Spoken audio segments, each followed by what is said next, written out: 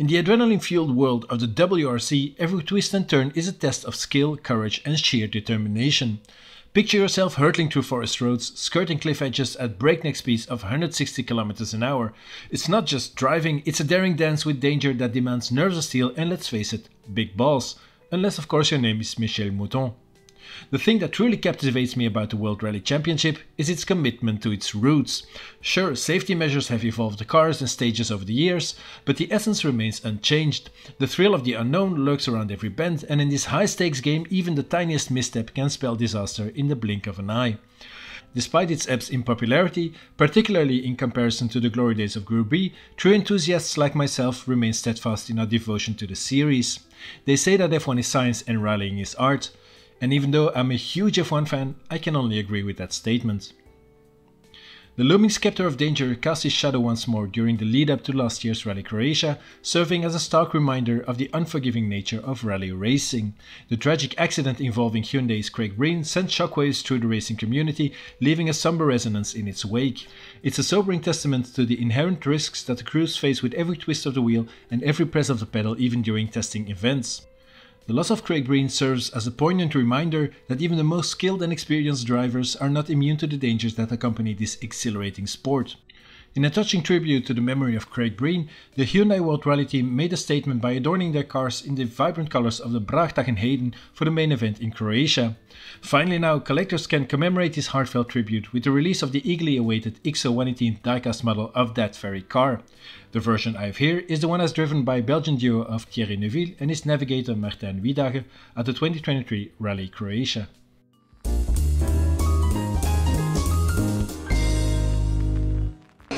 This one was for Craig, so hopefully it's enough. In the world of rallying, few names shine as brightly as Thierry Neuville's.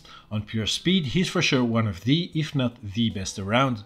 But for all his brilliance behind the wheel, there is a glaring gap in Neuville's trophy cabinet, the coveted World Rally Championship title. It's the one prize that has eluded him despite his undeniable talent and relentless pursuit of victory. In rallying, it's not just about being fast, although Neuville's speed is nothing short of breathtaking. It's about being calculated, strategic, and knowing precisely when to push the limits and when to exercise caution. It's a delicate dance between risk and reward, a high stakes game where split second decisions can make or break a driver's dreams. Take Colin McRae for example, an absolute legend of the sport with a fearless driving style that earned him adoration and admiration around the globe. Yet even McRae with all his daring exploits and jaw-dropping maneuvers clinched just one championship title in his illustrious career. Why? Because in rallying, consistency is king and one wrong move can dash championship's hope in an instant. So where then does that leave Neuville? An enigma poised on the brink of greatness yet tantalizingly out of reach. Thierry has finished second on so many occasions in the championship, and if you look back on those seasons, he could have easily won one or two of these had the coin fallen the other way. The 2023 Rally Croatia was another one of these events where Neuville went from hero to zero and back. Inspired by the memory of his friend and teammate Craig Breen, Thierry unleashed his inner warrior from the very start. Two of his main rivals, the formidable duo of Kalle Rovanperä and Sébastien Ogier, made the same mistake cutting a corner which caused them both a puncture. It wasn't all plain sailing for Neuville, with the third Toyota of Elfyn Evans hot on his heels. The Belgian though remained unyielding, his eyes firmly fixed on the prize. As the sun set on the first day of rallying, he stood tall and thus on course to pay tribute to his fallen colleague by winning the event. In the early stages of the next day, he extended his lead a bit further. Trying to settle into a good rhythm, Thierry made a small mistake that unfortunately had big consequences. He slid off the road into a small concrete wall, which then sent the Hyundai careening into the trees.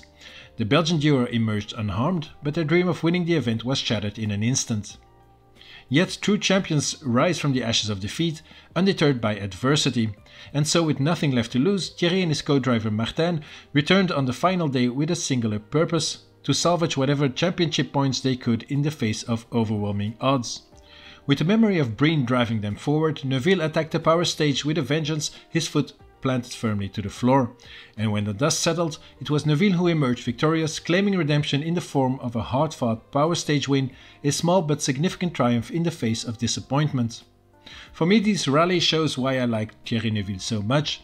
There is of course a whiff of patriotism involved here, but there is no denying that Neuville possesses that rare combination of raw speed, steely commitment and a never say die attitude that kinda reminds me of the late great Colin McRae. In a sport where the machinery often plays an important role, Neuville stands out as a true grifter, pushing his Hyundai to its limits in pursuit of victory. While his Toyota rivals may enjoy the benefits of more potent machinery, Neuville refuses to be outdone, extracting every ounce of performance from his car with a blend of skill, bravery, and sheer determination. This can become a double edged sword when he's trying too hard to compensate for his car's weaknesses. Indeed, Thierry Neuville's rallying career is a tapestry woven with moments of triumph and heartache, victories and defeats, highs and lows, and much like Stirling Moss in Formula 1 or Raymond Poulidor in the Tour de France, Neuville's legacy will transcend those missed championship titles. Whether he's standing atop the podium spraying champagne in celebration or picking himself up from the dust of defeat, Neuville's indomitable speed and unwavering passion for the sport shine through. And it's this resilience that endears him to fans like me, just like Colin McRae did before him. Although I still believe he will win a championship before he retires, even if Neuville's career is ultimately defined by near misses and what ifs, his legacy will endure as a true legend of the sport.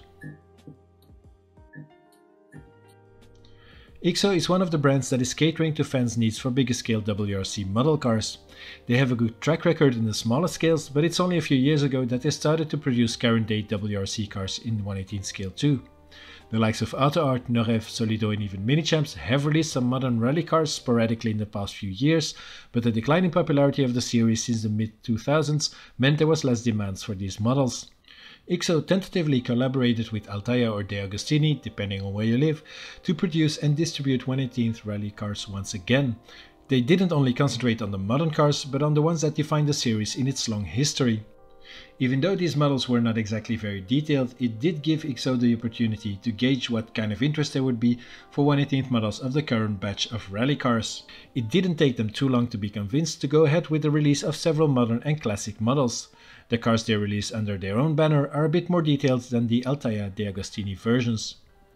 The biggest attraction of these IXO models is a great price quality balance.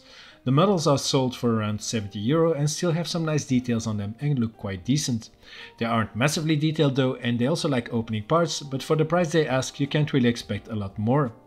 That being said, in my recent review of the Solido version of the 2022 Ford Puma Rally 1 model, you can see it's still possible to make models with opening parts for an even cheaper price. This might be a company thing though, as most Solido models have opening parts, whereas the IXO models don't. IXO also produce a lot more rally cars, so it seems they concentrate more on volume and range than on precision, which is fair enough. The models usually still look pretty good regardless. This 2023 Rally Croatia version here was pretty much a must buy for me. Just like many other motorsport fans, I was deeply shocked by the sudden death of Craig Breen. I thought the special livery Hyundai came up with for their driver was a fitting tribute, so I couldn't wait to get it in model form for my collection. As a Belgian motorsport fan, I of course then had to go for the Neuville version. An Esapekka Lappi version is also available. But yeah, I'm really thrilled to finally have it here, so let's go and have a deeper dive into this rather special model car. This model's packaging is a bit different compared to the regular black and orange boxes we see from IXO. Just like the car itself, it sports the colors of the Irish flag in honor of Craig Breen. I think it's beautifully done and it presents really well like this. On the back there is a simple, inspiring quote of Craig's Don't forget to enjoy, you have to have fun, life is too short. I just can see Craig say this with that infectious big smile on his face. The box design itself is very much the same as the regular IXO boxes. It has these rather large windows on all sides, but the back and bottom, and IXO logos on the front side and on the top as well. In the white part on the back there is a subtle reference that this is a 118th collector's model car. The bottom part then features all the licensing stuff and brand info you usually get, together with the model's info and barcode. The base on which the model comes is just the regular style packaging IXO uses, it has a rather cheap thin plastic base with a removable cradle around it for structural purposes. On this side here then is all of the model's info, and in front of the car an IXO brand logo. Since the box has these big windows and the plastic cradle is kind of hidden by these box pillars let's say, the model could easily be displayed in the box. especially this version with the beautiful Irish colours as a tribute to Craig Breen.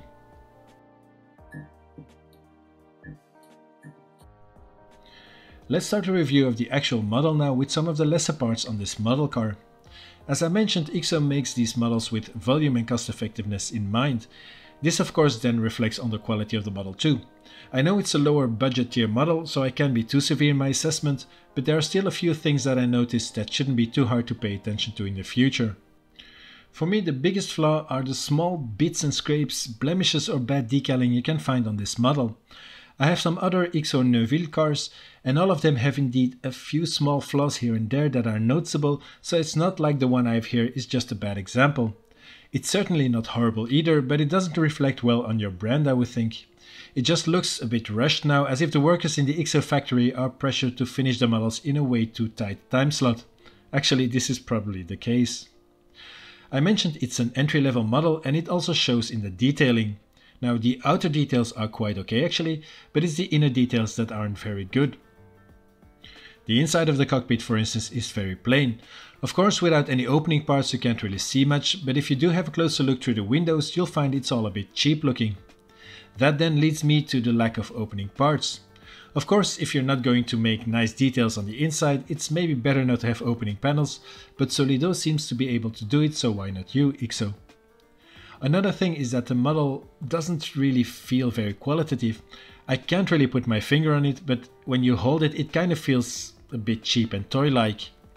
Finally then, a minor issue I have with this particular car is that the wheels are a bit too much on the inside of the body of the model, if you know what I mean. They should be sticking out a little bit more, being the same width as the wheel arches basically. This again is not really bad, but it's a bit annoying once you notice it. On the wheels too, in the middle part, there should be a black round cover over the wheel nuts, and this is missing on the model. I know I said I wasn't going to be too severe in my assessment, but I actually don't mind these flaws too much. I do still think the model looks great, especially in this special livery. For a basic entry level model, it's actually pretty decent. In my honest opinion, it would be better at a slightly lower price at around 50 euro, but it's not like I feel scammed paying the 70 euro I did now. One thing I really want to commend IXO on is, funnily enough, their attention to detail. Now, I don't mean the more intricate details then, but the overall picture. In the WRC, the manufacturers use the same car for several seasons, unless there are significant rule changes or if they need to push a new model in their range forward. Usually the changes from season to season are minimal with a few aero tweaks here and there, but that's it. This Hyundai i20 however has changed a lot compared to the 2022 Monte Carlo version, which was the start of the new Rally 1 rule cycle. For instance, on the nose of the car there is now this extended lip sticking out above the grille. On the grille itself there are these two bulbous blockers too, instead of the flat ones used back in 2022. The carbon effect on these parts is pretty good, and this is also the case for these S-scoops on the side of the car with a tribute to Craig on them. The mirrors then also change to a more regular position, let's say, as opposed to the middle of the door. A big change has been made on the rear wing as well, which now looks much more detailed and aggressive. Here too the carbon effect is really nice and features a very different pattern to the other carbon parts on the car. IXO also made seemingly insignificant changes to the mold of the body too, with a more realistic separate door handle now instead of the previous try where the handle was just molded into the body shape of the model. Another nice change they added to the new molds are the new front wheel arches. These are now much more angular shaped and more aggressive looking than before. So these are great examples then of how the exterior details are indeed quite good as opposed to the inner ones.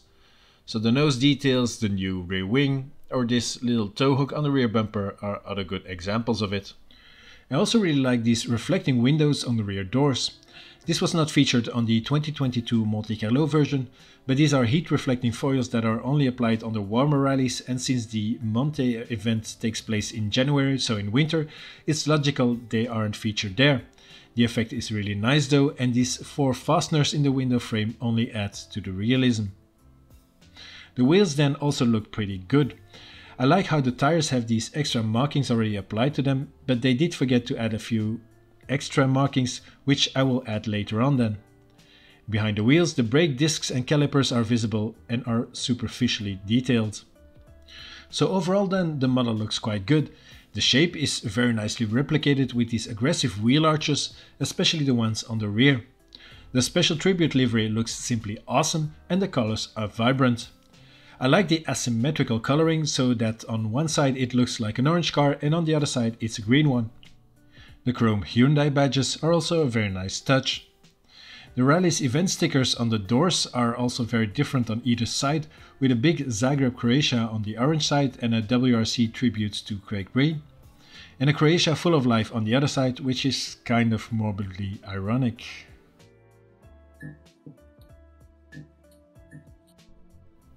So all in all, I really love this model car. I particularly love what it stands for with a beautiful tribute livery for the sorely missed Craig Breen. I'm very happy IXO made this model car and I think they did a pretty good job on it as well. I really like how they added all these small details and improvements to it too, especially compared to the previous version.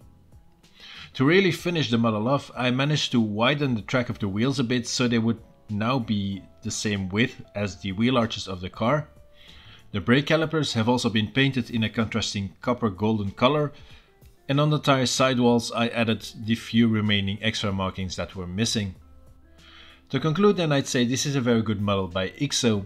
It surely could have been a bit more finely detailed, especially on the interior, or it would have been nice if it had opening parts too.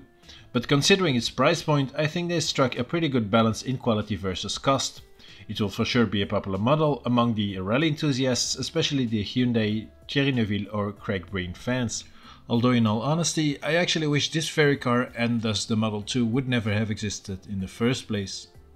So on that note, I would like to ask you what is your opinion of this IXO Rally model? Would you also add one to your collection or would you prefer to see another brand make a more detailed version of it? Let me know in the comments down below. Anyways, thanks for watching this review video, I hope you enjoyed it, like the video if you did and don't forget to check out the other content on the channel, like this review of Sébastien Loeb's M Sport Ford Puma from the 2022 Rally Monte Carlo. Don't forget to subscribe as well, take care, see you soon and please remember... You have to have fun, life is very short.